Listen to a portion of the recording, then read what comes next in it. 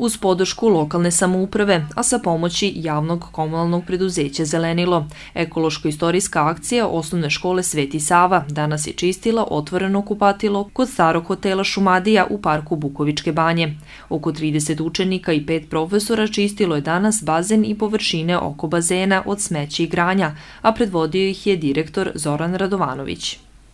Osnovni povod ove akcije je za uređenje ovog prostora. Mislim, ovo je žal za ovim zapuštenim prostorom, žal za nekom naš istorijom Aranđelovca, e, žal za onim e, sa čim se Aranđelovac dičio i ponosio u staroj Srbiji, staroj Jugoslaviji, kako da kažem, ovaj, da to tako se dozvoli da propade, da nestaje.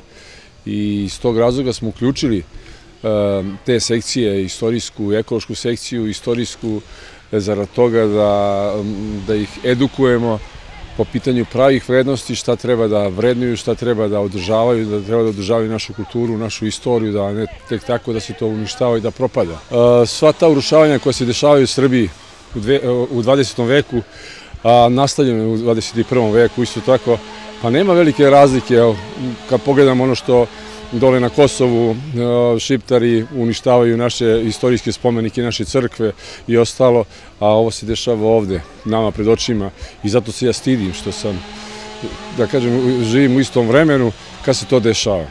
I osjećam neku odgovornost i želim na taj način da edukujem decu, da ih približim tim pravim vrednostima.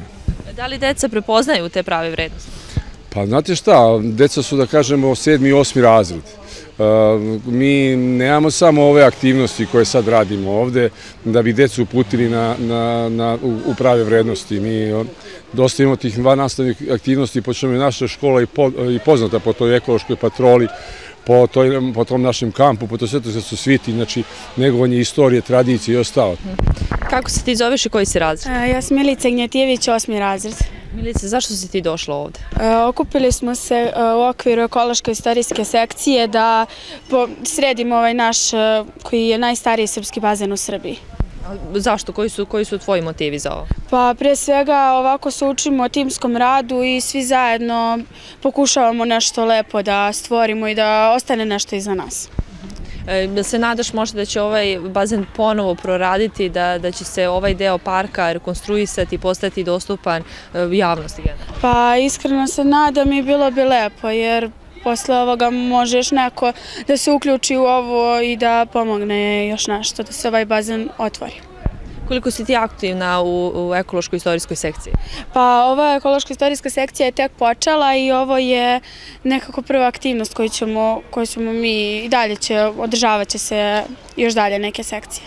Ova akcija čišćenja ne završava se samo na otvorenom kupatilu. Sljedeće nam je na programu i već smo ovaj, ušli u, u, tu priču, a to je uređenje Kosturnice, spomenika iz Prvog svjetskog rata, to je ta naša istorijska sekcija. Već smo razgovarali sa Srbije šumama i podneli smo zahtev za dodelu sadnica, za pošumljavanje tog dela gore.